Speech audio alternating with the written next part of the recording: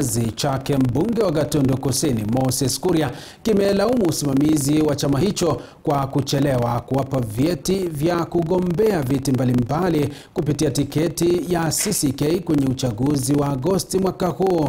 Wawaniaji hao wamedai kuwa huenda kucheleweshwa kwa vyeti hivyo ni njama ya uongozi wa CCK kuwanyima tiketi na badala yao kuwapa wanachama wengine. Wakizungumza katika makao makuu ya chama cha kazi walipotarajia majibu kuhusu utata wa vyeti, wawaniaji hao wametaka ama wameutaka uongozi wa CCK ama um, kiongozi wa CCK Moses Kuria uh, kujitokeza kimasomaso kuzungumzia fununu za karata chafu ndani ya chama chao. Hata hivyo, uongozi wa CCK umetupilia mbali madai hayo ukisema kuwa kuchelewa huko kumetokana na uwasilishaji wa kesi mbalimbali kutoka kwa baadhi ya wanachama wanaoibua maswali kuhusu mchakato uliotumika kuwapa, kuwapa baadhi ya viongozi tiketi za moja kwa moja.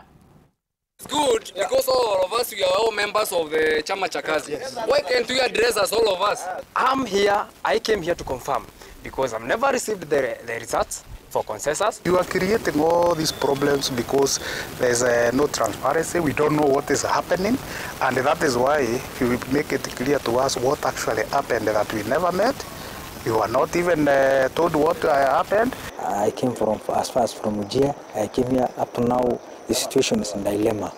We wanted to receive our certificates, but uh, we don't know. this. We are wondering what's happening. So tuko kwa giza, na unajua as a politician huko kwa cloud imekuwa ngumu sana kujieleza kwa wananchi. So ombi langu ni mtuelezee leo hii, mtu ajue venye atajipanga cloud ama venye ataambia watu wake. We are streamlining some of these things.